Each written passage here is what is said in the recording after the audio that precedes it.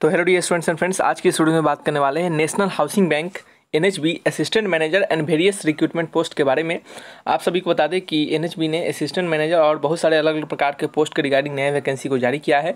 तो इस वीडियो में हम कंप्लीट वैकेंसी के बारे में जानेंगे, जैसे कि आपके एज लिमिट कितने होना चाहिए, एजुकेशन क्वालिफिकेशन क्या होना चाहिए, सिलेबस क्या रहेगा, सैलरी कितनी मिलेगी, काम क्या करना पड़ेगा, सिलेक्शन कैसे होगा, सभी तमाम जानकारी देने का प्रयास करेंगे। आपका जो एग्जामिनेशन होगा रिटर्न एग्जामिनेशन इंटरव्यू जो होगा, उसमें कैसे कैसे, किस प्रकार से आपका सिलेक्शन लिया जाएगा, किस प्रकार से मेरिट लिस्ट बनाया जाएगा, तमाम जानकारी यहाँ पे देने का प्रयास करेंगे। तो वीडियोज़ पर बने रहिएगा और कंप्लीट वीडियोज़ को बात कीजिएगा। यदि फिर भी किसी प्रकार का कोई डाउट हो तो हमसे आप कमेंट बॉक्स में लिखकर पूछ सकते हैं।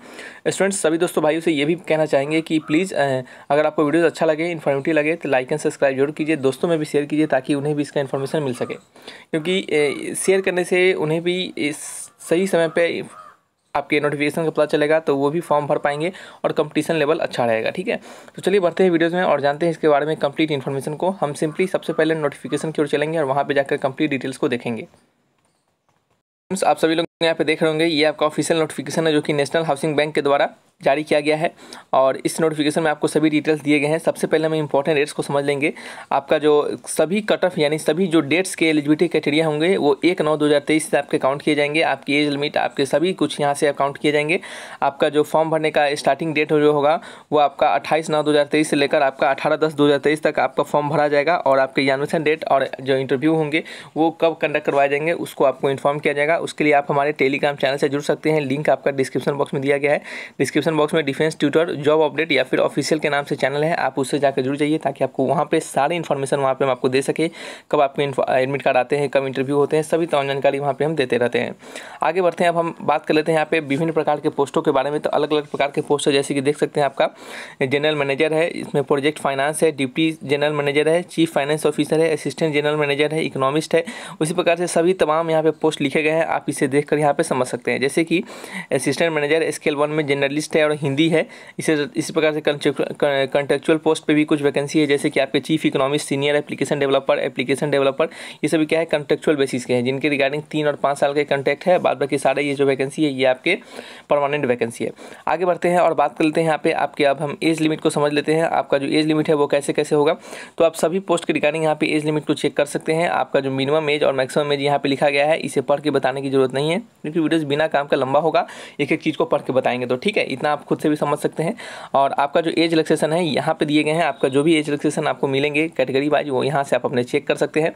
ये हम आपके जो नोटिफिकेशन है, इसको हम प्रॉपर अच्छे तरीके से समझा देंगे आपको, ताकि क्या हो, आप जब भी खुद से भी पढ़े तो आपको आसानी से समझ में आए। ठीक है? अब बात करते हैं मिनिमम एजुकेशन क्वालिफिकेशन के बारे में। तो सबसे पहले चीफ इकोनॉमिक्स जो है, जो कॉन्ट्रैक्ट बेसिस पे है, उसके रिगार्डिंग जो आपका मिनिमम एजुकेशन क्वालिफिकेशन रखा गया है, वो क्या रखा गया है कि मास्टर डिग्री होना चाहिए इकोनॉमिक्स में with specialise in monetary economics और economic econometrics from recognised Indian और फॉरेन यूनिवर्सिटी ठीक है? और साथ ही साथ यहाँ पे आपका doctorate degree in economics banking finance from recognised university will be preferred इनको प्रिफ्रेंस दिया जाएगा, ठीक है? लेकिन आपका ऊपर वाला जो है, वो एलिजिबिलिटी क्राइटेरिया है। यहाँ पे देख सकते हैं आपको पंद्रह आपका candidate must have overall experience of at least पंद्रह ईयर यानी पंद्रह ईयर का कम से कम आपके पास एक्सपीरियंस होना चाहिए, किसमें किसमें? इन कॉमर्शियल बैंक और F I reputed rating agency ये सभी चीज़ आप यहाँ से पढ़ सकते हैं। इन सभी में क्या होना चाहिए आपके पास? कोई में भी आपका एक प्रकार का पंद्रह साल का कम से कम आपका एक्सपीरियंस होना चाहिए। फिर जनरल मैनेजर प्रोजेक्ट फाइनेंस के रिगार्डिंग भी आपका मिनिमम पंद्रह से बारह ईयर का एक्सपीरियंस होना चाहिए। उसी प्रकार से सभी आप अगर देखेंगे, विभिन्न प्रकार के पोस्ट है। जैसे कि एक पोस्ट आपको बता देते हैं यहाँ पे सॉरी चलिए, एक पोस्ट आपको यहाँ पे बता देते हैं। एक पोस्ट यहाँ पे दिखेगा, जैसे कि डिप्टी मैनेजर है, इसके लिए पोस्ट ग्रेजुएट चाहिए इकोनॉमिक्स में, और इसके लिए टू ईयर का एक्सपीरियंस मांगा गया। कितने? सिर्फ़ टू ईयर का। आगे बात कर लेते हैं यहाँ पे आपके एप्लीकेशन डेवलपर के लिए कॉन्ट्रेक्चुअल बेसिस है, जिसमें B B tech M C M tech और एम एस सी ये सी एस और आई टी में होना चाहिए, जिसमें की regarding greater than twenty four month और less than forty eight month आपके पास क्या होना चाहिए? आपके पास प्रोफ़ाइल होना चाहिए जॉब का, यानी आपके पास इतना का एक्सपीरियंस होना चाहिए, ठीक है? तो ये सभी क्या आपके एजुकेशन क्वालिफिकेशन और एक्सपीरियंस है, और भी अदर पोस्ट है आप उसे पढ़ सकते हैं, क्योंकि एक एक पढ़ के बताएँगे तो सारा समय इसी में चला जाएगा, ठीक है? अब समझ लेते हैं यहाँ पर हम जाकर कि विभिन्न प्रकार के पोस्ट है, उनके रिगार्डिंग जॉब रोल्स भी डिसाइड किए जाएँगे, किए गए हैं, यानी आपको काम क्या करना पड़ेगा? जैसे कि पहला जो पोस्ट है जनरल मैनेजर का, यहाँ पे आपका काम रहेगा ड्राइविंग बिज़नेस टारगेट आपको बिज़नेस टारगेट आपको ड्राइव करना पड़ेगा प्रोजेक्ट असेसमेंट करना पड़ेगा निगोसिएशन करना पड़ेगा placement of personal in bank credit committee supervision monitoring करना पड़ेगा, आपको क्रेडिट अप्रेजल करना पड़ेगा अनदर टाइप ऑफ़ वर्क भी आपको वहाँ पे हो सकते हैं। उसी प्रकार से विभिन्न प्रकार के पोस्ट है, जिस पोस्ट के रिगार्डिंग रिगार्डिंग आप अगर फॉर्म को भरेंगे, वहाँ पे आप अपने जॉब प्रोफ़ाइल को चेक कर सकते हैं। जैसे कि एक और बता देते हैं असिस्टेंट जनरल मैनेजर का है, जिसमें कि जॉब प्रोफ़ाइल यहाँ पे देख सकते हैं। यहाँ पे आपका to track analyse evaluate forecast की इकोनॉमिक्स एंड फाइनेंशियल डाटा यानी आपको आपको ट्रैक करना पड़ेगा रिकॉर्ड रखना पड़ेगा एनालाइज करना पड़ेगा उसके अनुसार किस पे फाइनेंशियल डाटा पे। और आपके यहाँ पे अनदर प्रकार के वर्क भी हो सकते हैं, जैसे कंडक्टिंग इम्पैक्ट स्टडीज़ और वेरियस टॉपिक इशूज़ ठीक है? तो ये सभी क्या आपके, सभी अलग अलग प्रकार के पोस्ट है और उनकी रिगार्डिंग आपके जॉब प्रोफ़ाइल भी है। ये सभी हो गया यहाँ पे। अब हम बात कर लेते हैं यहाँ पे क्या काम करना पड़ेगा। आपको सभी कुछ सलेक्शन प्रोसेस आपका जो अब होगा नेक्स्ट में हमारा टॉपिक यानी कहने का मतलब है, अभी तक हमने एज लिमिट एजुकेशन क्वालिफिकेशन बता दिया है।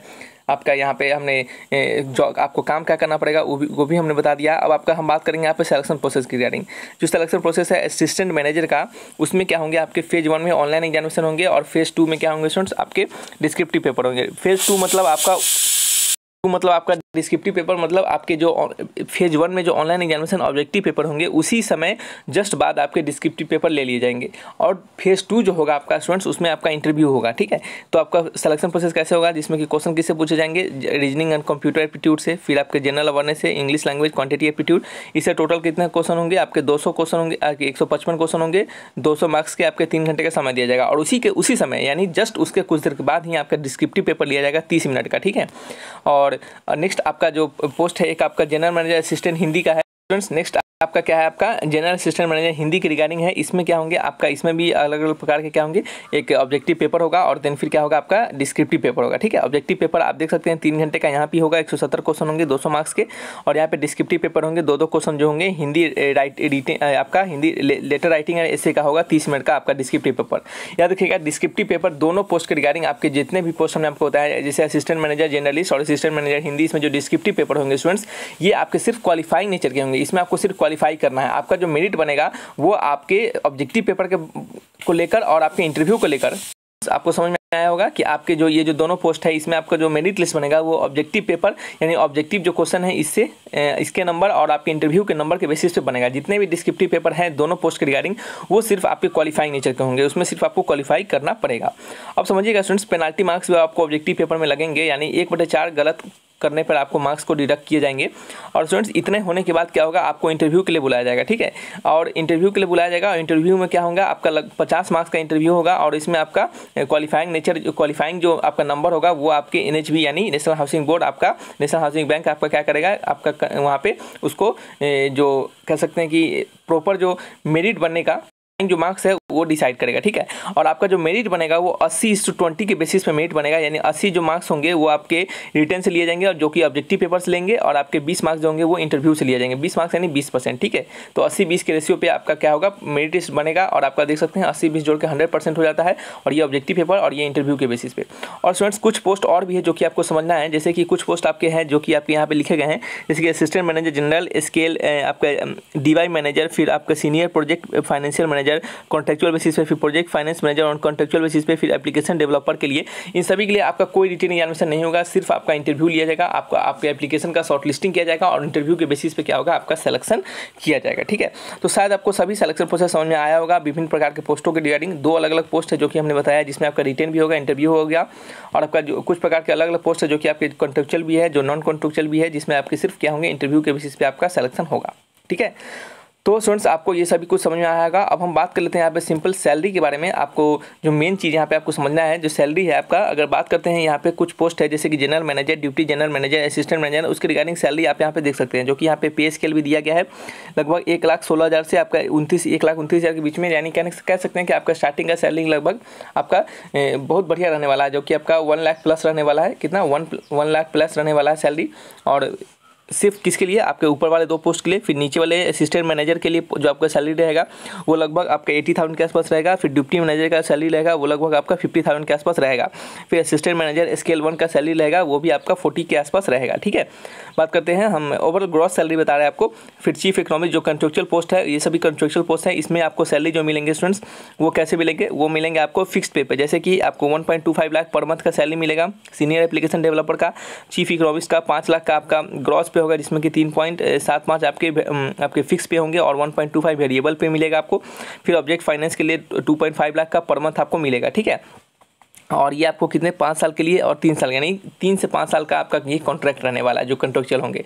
और ऊपर जो पोस्ट हैं, ये क्या होंगे? आपके परमानेंट पोस्ट होंगे। तो शायद आपको सभी डिटेल समझ में आया होगा, भले ही वीडियोज़ बड़ा हो गया होगा, लेकिन आपको जानकारी पूरी मिली होगी। अगर हम थोड़ा सा बात कर लेते हैं स्टूडेंट्स आपका, ये जो ऑनलाइन सेंटर होंगे, वो विभिन्न प्रकार के सेंटर आप यहाँ से चेक कर सकते हैं। आपका जहाँ भी सेंटर नज़दीक लगे, आप वहाँ पर सेंटर को भर सकते हैं। बिहार के लिए पटना, कोलकाता, ये सभी देख सकते हैं आपके। सेंटर आपके हैं, ठीक है? तो रखते हैं इस वीडियो को, यहीं पर मिलेंगे नेक्स्ट वीडियो में। सभी जानकारी हमने देने का प्रयास किया है और अच्छे से हमने समझाया है। फिर भी कोई डाउट हो, हमसे कोई गलती हो तो आप हमसे कमेंट बॉक्स में लिखकर पूछ सकते हैं। रखते हैं इस वीडियो को, यहीं पे मिलेंगे नेक्स्ट वीडियो में। Thanks for watching